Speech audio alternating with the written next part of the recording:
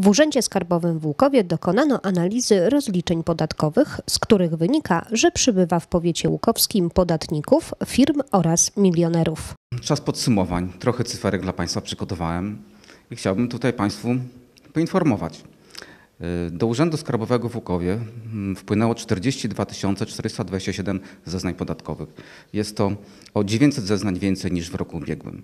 W formie elektronicznej, którą tak bardzo promujemy, wpłynęło prawie 40% zeznań. W stosunku do roku ubiegłego jest to dokładnie 7% więcej zeznań. Mm, Największa kwota wykazana do zapłaty przez podatnika jest to kwota prawie 400 tysięcy złotych. Została ona wpłacona do tutejszego urzędu. Natomiast największa nadpłata, jaką urząd zwrócił w tym roku, jest to kwota 216 tysięcy. W całym powiecie łukowskim mamy 30 milionerów. 11 jest w Łukowie, 9 w gminie Łuków, po 4 w gminach Stoczek Łukowski i Trzebieszów oraz po jednym w gminie Krzywda i gminie Wojcieszków. W roku 2015 milionerów mieliśmy 27. Dzisiaj mamy tych milionerów 30. Największy dochód, jaki wykazał, wykazała osoba, to było 2 miliony 138 tysięcy złotych. To jest dochód, jaki został wykazany w PIT-cie y, za 2016 rok.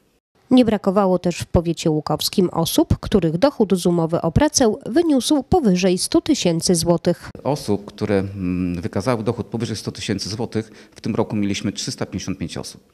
Y, Największy dochód na umowę o pracę, jaki został uzyskany w roku mm, ubiegłym, jest to 600 tysięcy złotych.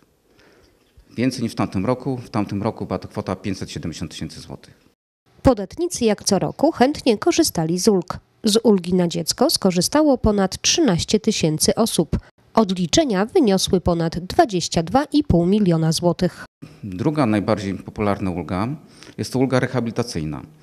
Mm, Odliczyło tą ulgę blisko 3000 osób. Jest to więcej o 77 osób niż w roku ubiegłym. Y, Łączna kwota odliczeń to jest 4 miliony 400 tysięcy złotych. Nie brakowało też osób, które przekazały 1% podatku na organizację pożytku publicznego.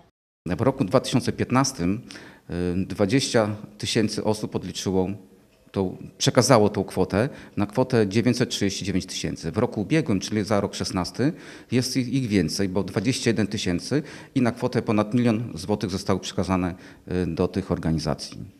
Naczelnik Łukowskiej Skarbówki Marek Szczerba podsumowuje również wpływy z podatków PIT, CIT i VAT. Były one rekordowo wysokie.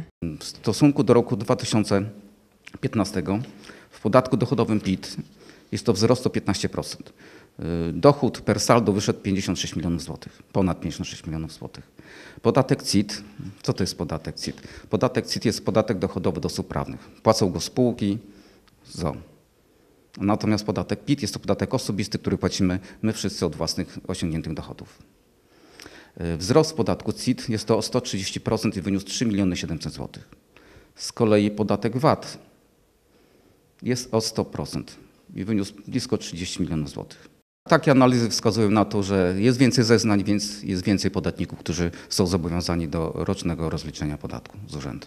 Pamiętajmy, że w styczniu od nowa, jeszcze raz zachęcam do form elektronicznych. Kto skorzystał, ten wie i na pewno papierowo już nie będzie chciał składać i przychodzić do urzędu. Żeby nie umknąć kolejek, czas to pieniądz, szkoda czasu.